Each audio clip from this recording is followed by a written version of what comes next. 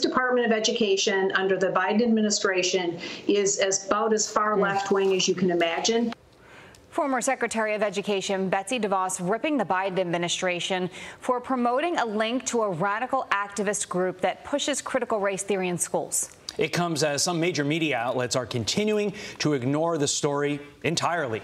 Here to react, civil rights attorney, former teacher, and Fox News contributor Leo Terrell. Leo, welcome to the program. Thanks for staying up with well, us. Um, let's I'm a little, it. I'm a little yeah. upset, Todd, uh, Todd and Jillian, because it took me five months to get on Fox and Friends oh. first. But I'm here. Glad heads to be will here. roll. We wanted Leo you here every day. Lee, heads will roll. We'll talk to people. uh, but let's face it, if right. not for Fox, if not for our friends Aishah Hasnie and Lawrence Jones, the Biden Department of Education would have gotten away with this, right? You're absolutely correct. Let's be very clear. The Biden administration got caught. They were lying. And but for the Fox News article this week, Fox, the, the, Biden administration was trying to conceal this. And now they're lying about it was an error. You cannot believe them. They have tried to put critical race theory in every aspect of government, in the State Department, in uh, the military, and definitely in education. We have to call them on this. And thank goodness for Fox News. Well, here's the Department of Education statement to Fox News. This reads, quote, the department does not endorse the recommendations of this group, nor do they reflect our policy positions. It was an error in a lengthy document to include this citation. Leo, you know, with everything that's going on and to see something like this and have them say this was an error, um, obviously a lot of people question whether or not it was truly an error, but how much of a role do you think this topic is going to play in 2022?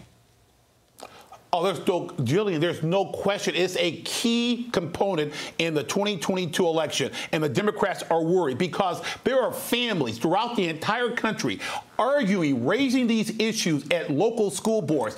They're looking at the curriculum, they're looking at the lesson plans. And I guarantee you, critical race theory is a racist theory. And I want to destroy this myth right now. People of all colors, including myself, oppose critical race theory because it's based on a lie. This country was founded on liberty and freedom, and the idea that people are should be looked at by skin color is insulting to everything that what America stands for. Leo, I think myself, a lot of our viewers get accused of being racist, quite frankly, and that racism accusation comes from a lot of white liberals for being against CRT. 45 seconds to you.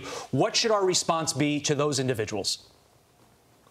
I'll tell you right now, uh, these the, these white liberals on the Democratic side, they do not speak for America. I think the strategy should be what's going on right now. Families across the country of all colors should challenge this at school board. Demand to see the curriculum, demand to see the lesson plan, demand to see the stated objective to see if this critical race theory is in the school curriculum. If so, challenge it and raise it to a level where people are aware of it. It's going to be a major factor along along with crime in the 2022 election in which the Democrats are going to lose and Nancy Pelosi will be retired.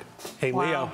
We'd love to have you back on more often. Have your people call uh, our do I have to beg? Do, do, I have to beg? Do I have to beg no. to come back on this show? Here's what's going to happen. Okay. We're going to have Mele strong arm Hannity, so make sure that your schedule frees up to make this happen. No, no, no, no, no. No, you don't want to do no. that. All right, we won't do that. no, no, no. Hey. No, no, I'm not messing around with that. But, Thank you. Uh, you're welcome here anytime. Leo Terrell, good to see you this morning. Thank, Thank you, Thank you, sir. We appreciate it. Thank you.